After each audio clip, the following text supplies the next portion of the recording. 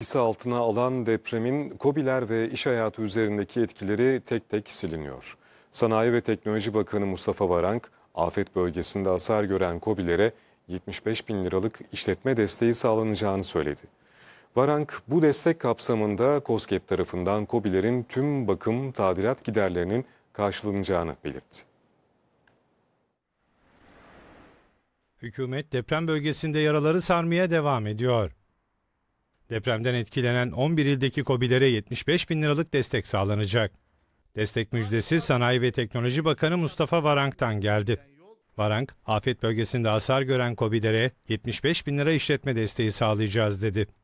Bu destekte KOSGEB, deprem bölgesinde imalat sektöründe faaliyet gösteren KOBİ'lerin bakım, tadilat, onarım, personel, ham madde, malzeme, teçhizat, donanım giderlerini karşılayacak.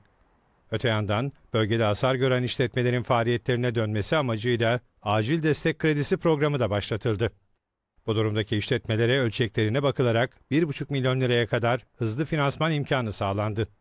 Afet dönemi yaşam alanı desteğiyle de deprem bölgelerindeki KOBİ'lere ve esnafa 300 bin liraya kadar geri ödemesiz konteyner desteği hayata geçirildi. Konteyner başına 30 bin lira olan destekten işletmeler 10 konteynere kadar yararlanabiliyor.